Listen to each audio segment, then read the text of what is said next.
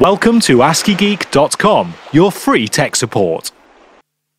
In this tutorial, we will learn how to export Access DB data to Excel using VBA, Visual Basic for Applications.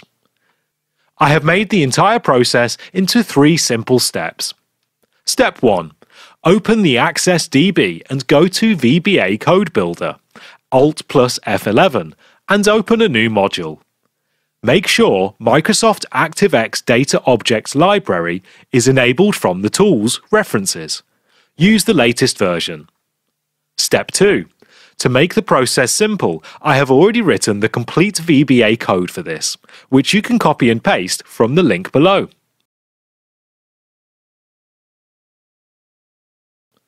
This VBA code is really helpful to export Access table data to Excel in just one click. That too, it will happen without even opening the Excel workbook. In case you are assigning the code to a command button, make sure the code is within the private or public sub-event, something like private sub-export to Excel. Step 3. Click the Run button or F5. It's as simple as that.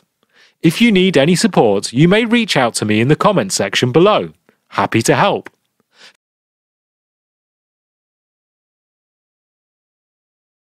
Thank you for watching and please make sure to subscribe to this channel for free tech support.